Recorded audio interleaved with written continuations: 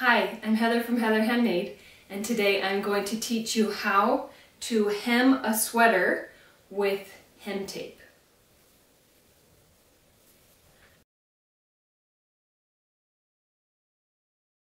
So most sweaters actually have a thick ribbing at the bottom of the sweater and I have a different tutorial about how to hem a sweater and you keep the ribbing at the bottom. But some sweaters have a very thin ribbing or they are hemmed at the bottom. And so I'm going to teach you that um, how to cut off the bottom and use hem tape to hem it up and make it still look nice and not stretch out as you sew it. So the things you'll need for your sweater is just your regular sewing tools like sewing machine, scissors, and an iron and an ironing board. Also, the special thing that you'll need is soft stretch hem tape. This is by Heat and Bond and this is the light version so you have to sew it. It won't stay together if you don't sew it. It is permanent and it is a double-sided adhesive but one side has paper backing on it and this I love this because it gives just enough stability to your knit fabric that while you're sewing it it won't stretch out but it is not so stiff that it you know makes your hem drape differently or makes it look weird because you can tell that there's something thick right there in the hem. The first thing you need to do is put your sweater on and decide how much shorter your hem needs to be. So my sweater actually has a side slit, which I like and I don't want to get rid of. So I'm not going to hem that much shorter. If you do need it to be a lot shorter and there is a side slit, most likely it's going to be removed if you need it to be shortened that much. I am going to shorten my sweater one inch. Um, I put it on and decided that that's how much shorter I'm going to do it and I'm still going to have the slit in the side seam. The technique I'm using, you can do the same thing with a sweater that doesn't have a slit in the side. It can be, you know, just one continuous circle. So I got my little sleeve board. This is just like a regular ironing board, but it's small. It works better for the video. And I have my iron right here and it's heating up right now. So I prefer when you cut through stretchy fabric, knit fabric, it has a tendency at the edge where you cut it to just kind of grow and get bigger and stretch out. So to fight the growing, I am going to put my hem tape on first before I cut it, and that will give it some stability. And then I can cut at the bottom of the hem tape. So this is my little ruler I'm going to use to measure one inch up from the bottom. I'm removing one inch and then it will fold another 5 eighths because this is how wide that is. That's how short I want it to be.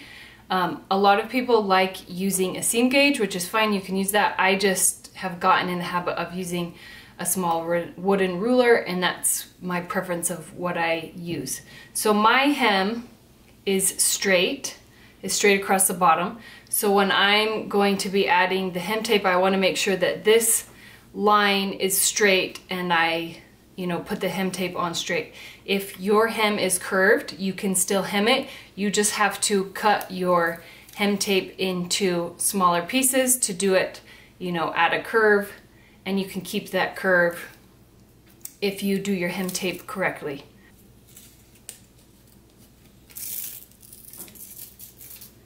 So this is measuring up one inch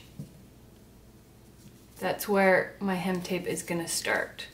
And you, I'm going to do one continuous piece of hem tape, but I'm going to work in small sections.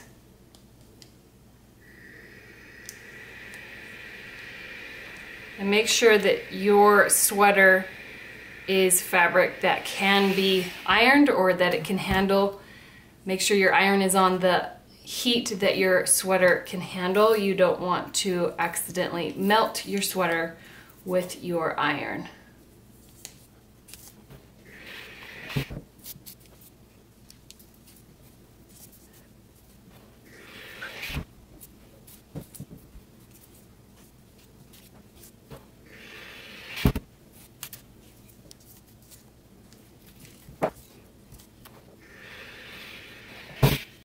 Now that I have the hem tape attached to both sides, now I can go in and cut the fabric right next to the hem tape.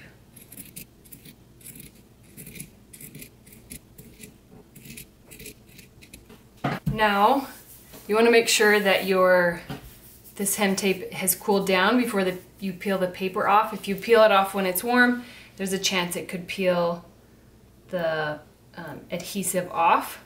So now I'm going to peel this off. And you can still kind of see it. It's kind of, it is almost a transparent hem tape. So now I'm going to go through and fold this up at the edge, fold it up and press it into, so that will hold that in place. The adhesive will iron up to the other edge.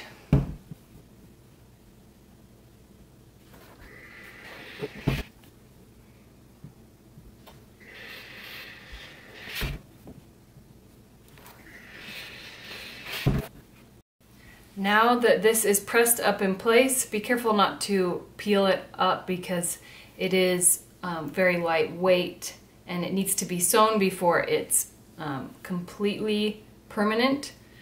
So I'm going to use a twin needle to hem this. I have a video about hemming with a twin needle. You can go watch that video to learn how to do it. And I'm going to use matching thread on the top and the bottom.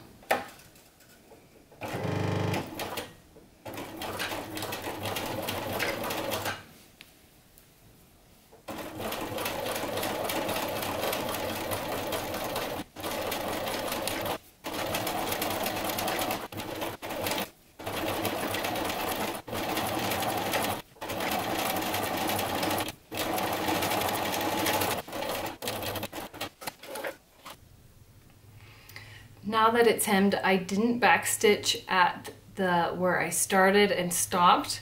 I just left long thread tails and I'll show you how to finish off this edge. But this is what the, the twin needle hem looks like. It is slightly stretched out and I think that is because of um, ironing. And once you wash it, it will shrink back to its regular size.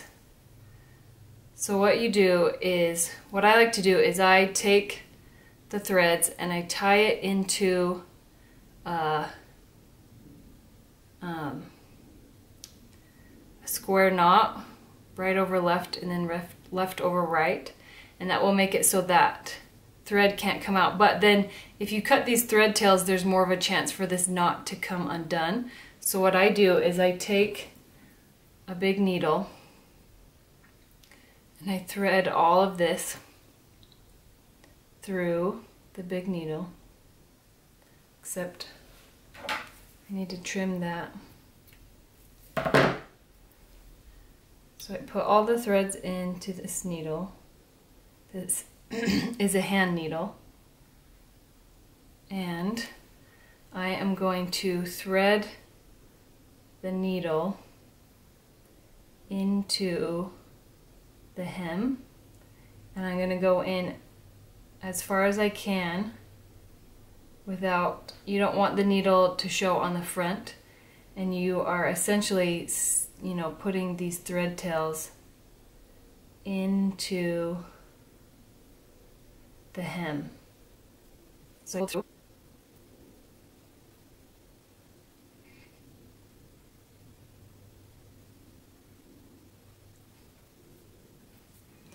and then I cut that but there is you know two to three inches of the thread tail inside that will make it less likely to pull out and come undone.